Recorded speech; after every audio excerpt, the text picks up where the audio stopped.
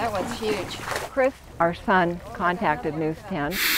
Guess what happens when you stock a pond with eight koi and then feed them very well for 12 years? I need to get rid of the fish. We wanted a good home for the fish because we need to drain the pond. We're fishing them out now. Hey, our first one of the day. There's the first one. Bob Huffman, a caretaker. I'm uh, a pond fisherman. Joan Levy needs help. I came upon your uh, your segment on the koi. I thought it was interesting, and then when Joanne said she wanted to get rid of them, I don't know what they say, uh, serendipity. Man, I was first in line. Woo! A couple big ones, and uh, we got out. They slip right out of the net. That's a good pound and a half. How are you going to get them in the truck? Some look like catfish and Is that big or is that big? Um, some just look like koi. That one's gorgeous. We wanted a good home for the fish. I guess I'm the lucky one. I had no idea that I was in for this muck. What's it going to be like when you have all these new koi in your pond? Oh, it's going to be great. Hopefully they'll control the weeds. Because it's a beautiful pond. It has a fountain. Oh yeah, it's a pretty place.